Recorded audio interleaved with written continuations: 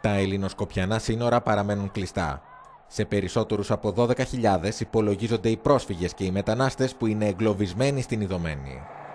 Τρεις που είχαν καταφέρει παράτυπα να διασχίσουν τα σύνορα βρήκαν τραγικό θάνατο εντός του Σκοπιανού εδάφους όταν παρασύρθηκαν από χήμαρο, ενώ άλλοι 23 διασώθηκαν και φιλοξενούνται προσωρινά σε κέντρο υποδοχής κοντά στην Γευγελή.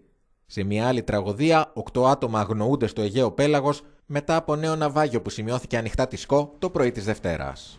Άλλα 5 άτομα κατάφεραν να κολυμπήσουν ως τις ακτές του νησιού.